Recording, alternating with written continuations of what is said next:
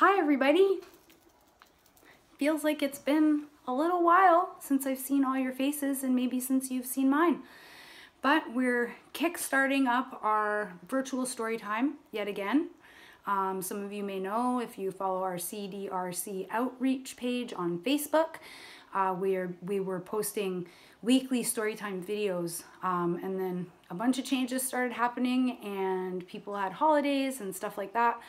So it was on hold for a little bit, but we're going to be doing that again. So make sure you follow uh, and like and share our CDRC outreach page on Facebook. And we will be posting updates and stories and information for our parents and families moving forward.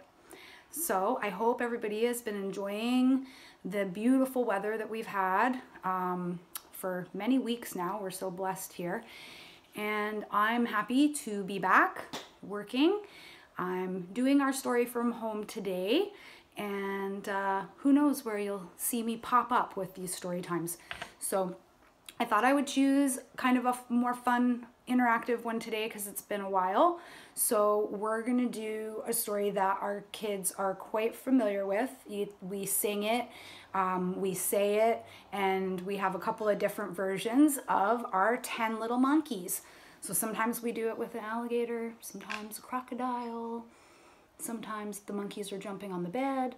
But today, all my monkeys, as you can see, are in a little tree here. And then it's, we're gonna walk through it together. So we're gonna start. 10 little monkeys swinging on a vine. One found a water hole and then there were nine. So we started with 10 and now we're at nine. Nine little monkeys playing out until late. One met a crocodile and then there were eight. Oh, one little monkey. How many's left? Eight little monkeys playing monkey games. One fell into a prickly bush. Seven then remained. This little guy fell into a prickly bush. Seven little monkeys doing clever tricks. One woke a tiger. Then there were six.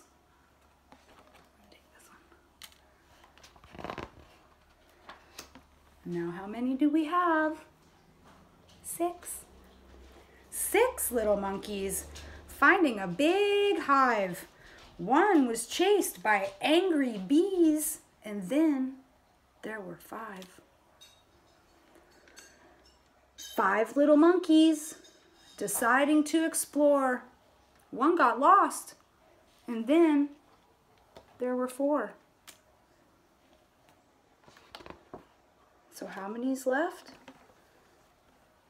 Four. Most. Four little monkeys climbing in a tree. One climbed a big green snake. And then, oh, that one. Then there were three. So pa'a, sa'a, chalice.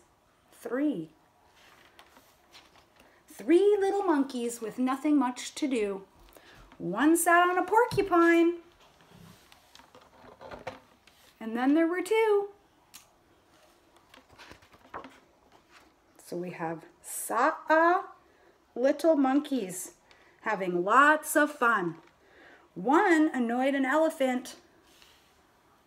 And then there was one, Pa'a, one little monkey missing all his friends. When all his monkey friend return, the fun begins again. So see, they all got lost, but then they all come back.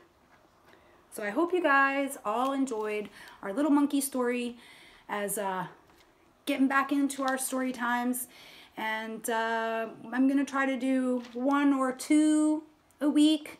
So keep your eyes peeled and uh, keep just keep watching our Facebook page for more stories. And I hope everybody has a great week. Bye